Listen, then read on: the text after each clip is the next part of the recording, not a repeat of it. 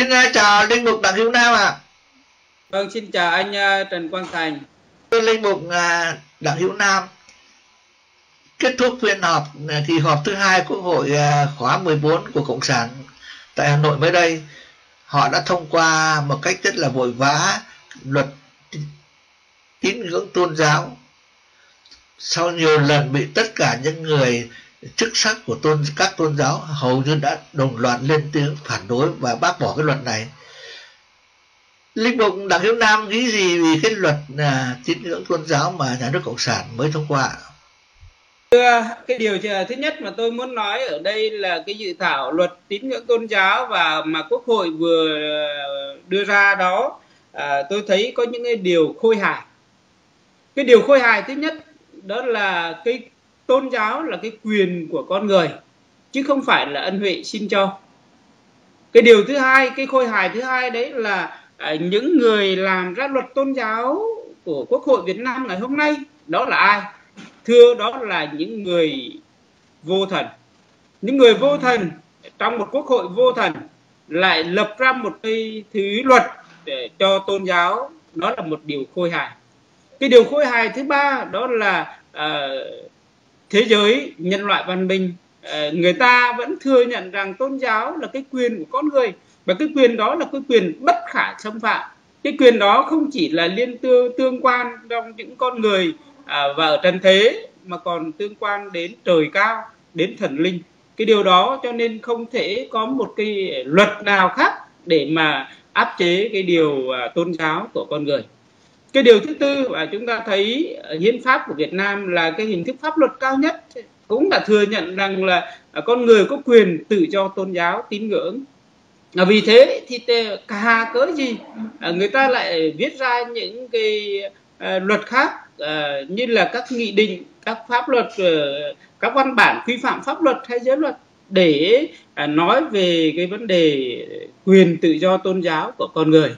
Và cái quyền tự do tôn giáo của con người ở đây à, theo cái à, luật tôn giáo mà quốc hội vừa thông qua đó nó không làm cho con người ở Việt Nam thực thi cái quyền của mình là tín ngưỡng một cách bình an hay là thuận tiện nhưng đó là là cái phương pháp một cái thòng lọng siết chặt và à, giúp cho nhà cầm quyền vô thần à, có thể quản lý và à, bắt buộc cũng như điều hành cái tôn giáo và hoạt động tín ngưỡng tôn giáo của người dân.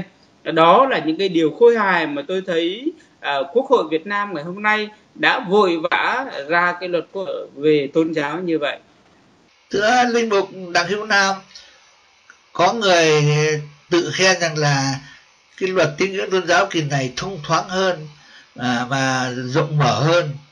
Nhưng mà hầu hết những người mà có đạo có tâm linh những chức sắc của các tôn giáo để nói rằng đây là một cái thòng lọng mà siết chặt hơn quản lý chặt chẽ hơn. Vấn đề là gọi là những người đi theo những cái tôn giáo khác nhau. Thực chất luật tín ngưỡng tôn giáo chỉ là một cái thòng lọng để nhà nước cộng sản việt nam thống trị lên cầu lên cổ nhân dân chứ không phải là phục vụ cho lợi ích của nhân dân. Linh mục đặng yêu nam bình luận sao vấn đề này ạ? À? À, nếu ai đó nhân danh một tôn giáo mà bảo rằng cái uh, luật tín ngưỡng tôn giáo của quốc hội ngày hôm nay uh, xem ra là thoáng hơn thì cũng thật là khôi hài nữa à, chúng ta phải xem lại cái tư cách và cái hành chữ của cái người đó như thế nào cũng như cái nhận định. Bởi vì có thể người ta nói rằng là uh, con người có tự do để biểu đạt cái niềm tin của mình. Xem ra câu nói đó là câu nói mở. Và câu nói đó làm cho người ta ngộ nhận rằng là cái tín ngưỡng tôn giáo tại Việt Nam được tôn trọng. Nhưng trên thực tế thì chúng ta thấy thế nào? Thực tế đối với kể cả trong cái câu chữ của luật tôn giáo ngày hôm nay chúng ta cũng thấy có những cái chuyện nói rằng là ừ uh, tôn giáo nhưng mà quyền tự do tôn giáo không được xâm phạm đến cái an ninh quốc phòng vân vân. Một câu nói đó cũng có thể là một câu nói mở uh, ờ, cũng gây ra bao nhiêu là ngộ nhận và bên cạnh đó cũng gây ra bao nhiêu cái sách nhiễu đặc biệt với nhà cầm quyền độc tài đảng thị của Việt Nam ngày hôm nay. À, riêng bản thân tôi thì tôi cũng rất là uh, cảm nghiệm cái điều này sâu sắc ở chỗ cách đây chỉ ít hôm thôi. Ờ, tôi uh, là cái người mà chính chính quyền của huyện Quỳnh Lưu ra một cái, cái công văn gửi cho các cho giám mục của tôi cũng như các linh mục và bảo rằng tôi làm sai uh, pháp luật của Việt Nam. Ở chỗ tôi thực thi cái quyền cái cái, cái tín ngưỡng của tôi. Ờ, sai nơi thờ tự. Ừ. trong cái đó thì luật vẫn nói rằng là không được cử hành uh, nghi thức của tôn giáo ngoài nơi thờ tự ngoài cơ sở thờ tự. À, thế mà ông phó chủ tịch huyện Quỳnh Lưu ông đánh đồng anh ông đánh tráo khái niệm đó bằng cái việc mà tôi dâng lễ ở nhà thờ khác không thuộc về giáo xứ của tôi. Ừ, đó là một cái nơi là ngoài cơ sở thờ tự. Và cái điều đó chúng ta cũng thấy rất là rõ ràng, đặc biệt với chế độ là công an trị ngày hôm nay. Ừ, tất cả mọi người chức trách quyền của nhà cầm quyền đều tự cho mình một cái quyền tối thượng ờ, và thậm chí vượt lên trên cả pháp luật.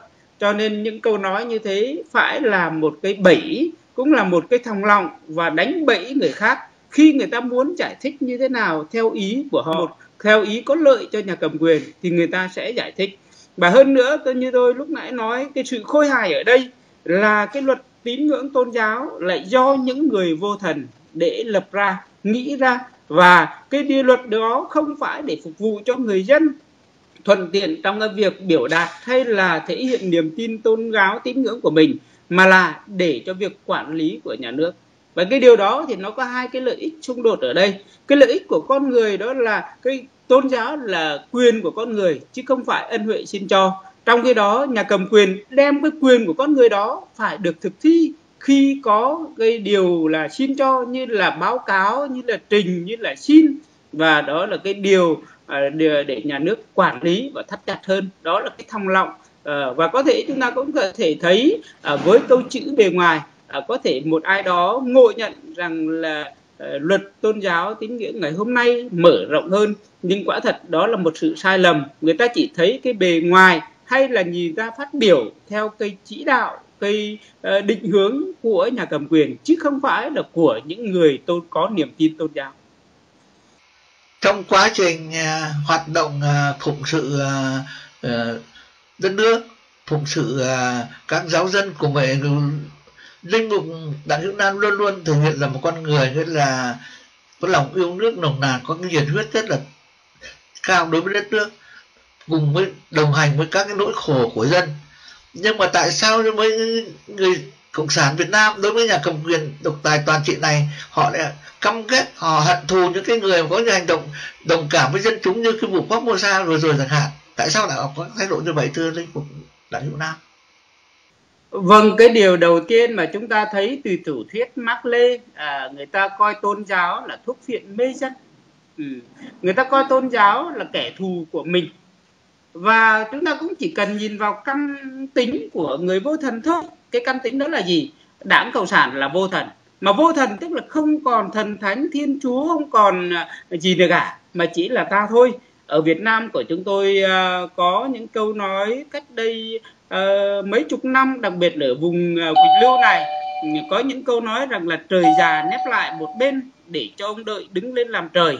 Ông đợi đó là cái người làm lãnh đạo của huyện Quỳnh Lưu một thuở. Ở cái thời mà ông ờ, có thể là đắp bờ xe độc ấy sắp đặt lại Giang Sơn là ông bảo là trời già nép lại bên rồi để cho nông hội hay là để cho ông đợi đứng lên làm trời đó là cái điều mà người ta suy hết tất cả mọi thứ.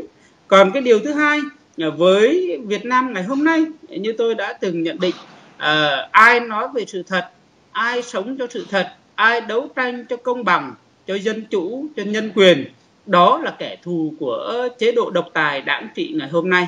Và vì thế với bản thân tôi cũng vậy. Tôi đang sống cho sự thật tôi đang đấu tranh cho công bằng tôi đang đấu tranh cho dân chủ và nhân quyền. Tôi đang bảo vệ sự trọn vẹn của đất nước của lãnh thổ và xứng với xương máu của tiến nhân. À, thì tôi cũng nghiễm nhiên trở thành một cái gai hay là thành một kẻ thù của chế độ này. Nhưng à, có lẽ cái việc đánh giá của một con người chúng ta không chỉ cần nhìn vào cái hành động của người đó trong đương thời mà chắc chắn lịch sử muôn đời sẽ đánh giá nữa. Dân tộc này rồi sẽ đánh giá cho chúng ta tất cả những gì. Còn với bản thân tôi đã từng à, khẳng định một điều ừ, phúc cho tôi nếu cộng sản ghét tôi. Bởi vì như thế tôi biết rằng tôi không phải thuộc về họ, mà tôi thuộc về thiên chúa, thuộc về giáo hội, thuộc về người dân. Còn nếu thật là họa cho tôi khi tôi được cộng sản yêu mến, bởi vì người ta chỉ yêu mến những gì thuộc về mình. Và như thế khi cộng sản yêu mến tôi thì tôi không còn thuộc về thiên chúa, không còn thuộc về giáo hội, mà thuộc về cộng sản. Xin cảm ơn linh mục đạo nam và mong rằng linh mục luôn luôn là người của dân lời người của thiên chúa. Một lần nữa xin cảm ơn linh mục ạ.